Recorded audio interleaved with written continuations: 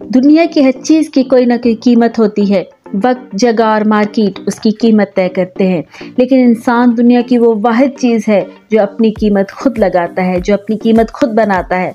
इंसान समझता है शायद वो कीमती है, शायद दुनिया उसकी कीमत देगी। लेकिन याद रखना कीमत जब भी लगती है, इंसान की सलाहियत की लगती है, उसकी काबिलियत की लगती है, इंसान के काम की कीमत लगती है।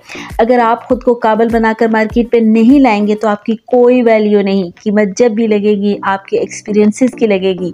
कीमत जब भी लगेगी, आपके स्किल्स की लगेगी, आपके अंदर मौजूद उस काबिलियत की दुनिया कीमत देगी। अगर आपके पास ये चीज़ें नहीं हैं तो आप शायद कभी इस मैदान में मुकाबला नहीं कर सकते। इंसान समझता है कि शायद वो कीमती है, लेकिन कीमती उसका किरदार होता है, उसका मैार होता है, उसकी काबिलियत होती है।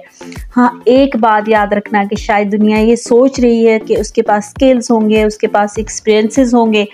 तो वो मार्केट में आकर छा जाएगी। लेकिन याद रखना, जो स्किल और एक्सपीरियंसेस के साथ साथ किरदार और मैार की चीज़ों पर पूरा उतरता है, दुनिया उसकी कीमत देती है।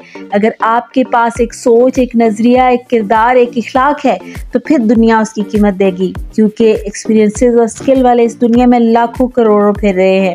जिनके पास कुछ भी नहीं है, जो समझ रहे थे कि दुनिया हमारी कीमत देगी, हमारे स्किल्स की कीमत देगी, हमारे एक्सपीरियंसेस की कीमत देगी, लेकिन कंपनी और दुनिया जब भी किसी इंसान को हायर करते हैं तो उसके किरदार, उसके मैार के साथ साथ उसके नज़रिए, उसकी सोच को सबसे ज़्यादा परखते हैं। मैं पिछले दिनों एक वीडियो देख रही थी। एक वीडियो के अंदर एक कंपनी में कुछ लड़के इंटरव्यू देने जाते हैं। इसी असना में वहाँ एक लड़का आता है और कहता है, यार, तुम्हारी बारी बाद में है। तुम अपनी टैग कुछ देर के लिए मुझे दे दो और मैं अंदर लगा कर चला जाऊँ।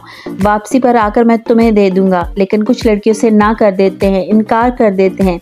लेकिन एक लड़का उठता है और उसे टाई दे देता है। कुछ देर के बाद जब रिज़ल्ट निकलते हैं तो पता चलता है कि जिस लड़के ने टाई दी थी, वो हायर कर लिया गया है।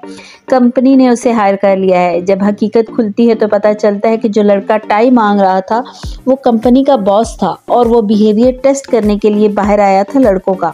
और जिस लड़के ने टाई दी थी, उसके पास स्किल्स भी थे एक्सपीरियंसेस भी थे, लेकिन इसका किरदार इसको जितवा गया था। उसका किरदार, उसकी सिलेक्शन का सबब बन गया था। बाकी सबके पास स्किल्स थे एक्सपीरियंसेस थे डिग्रीज थी, लेकिन इनमें किरदार की कमी की वजह से आज वो वहाँ फेल हो चुके थे।